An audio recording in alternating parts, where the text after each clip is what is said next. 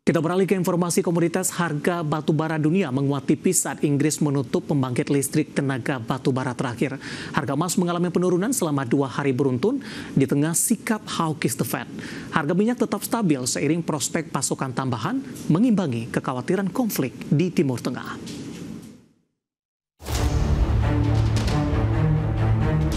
Harga batubara dunia menguat tipis saat Inggris menutup pembangkit listrik tenaga batubara terakhir yang terletak di Redcliffe Onshore yang sudah beroperasi sejak 1967.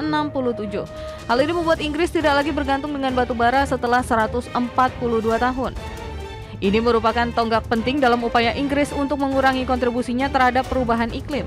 Dikutip dari data definitif, harga batubara dunia kontrak Newcastle di perdagangan Senin waktu setempat tercatat di 146,55 dolar Amerika per ton naik 0,18 persen. Harga emas dunia mengalami penurunan selama dua hari beruntun akibat komentar Chairman Bank Sentral Amerika Serikat Jerome Powell yang mengisyaratkan tidak akan agresif dalam menurunkan suku bunga. Berdasarkan data definitif, harga emas dunia di pasar spot di penutupan perdagangan Senin turun 0,88 persen di 2.634,5 dolar Amerika per troy ounce. Sementara di pembukaan perdagangan Selasa, tercatat menguat tipis 0,03 persen ke 2.635,31 dolar Amerika per troy ounce.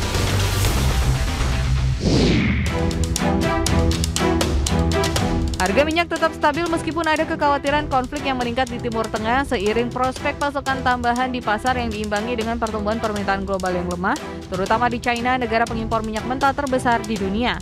Melansir Reuters, di Selasa pagi waktu Asia, harga minyak mentah Brent untuk pengiriman Desember naik 0,18 persen di 71,83 dolar Amerika per barel.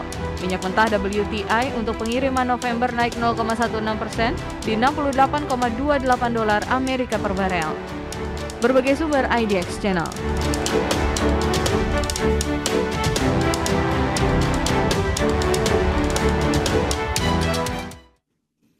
Dan bagaimana update terkini pergerakan harga sejumlah komoditas yang berhasil dihimpun oleh tim redaksi kami sampai dengan sore hari ini waktu Indonesia Barat.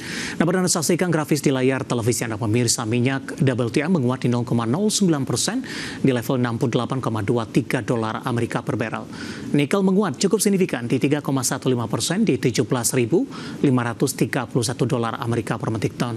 Sementara emas juga menguat di 0,25 persen di level 2.666,20 dolar dolar Amerika per troy ounce.